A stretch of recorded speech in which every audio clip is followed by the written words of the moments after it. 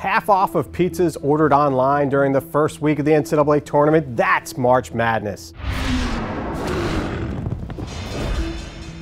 Yes, Domino's is doing a March Madness stunt, offering half price for pizzas ordered via all of its online platforms. It's just one of several companies trying to cash in on bracket mania across the United States. Not to be outdone, Papa John's is reintroducing its Philly cheesesteak pizza. They're claiming that it's in time for March Madness. Maybe it's a ploy to attract those Villanova fans, number one seed in the Philly area. You've also got Pizza Hut, owned by Yum Brands, a company that is really trying a turnaround, and they're going deep into the nostalgia route. Also doing a contest where they're going to give people a chance to go to the Final Four in Indianapolis, take a half court shot backwards because you're supposed to eat the stupid pizza backwards, and win a million dollars.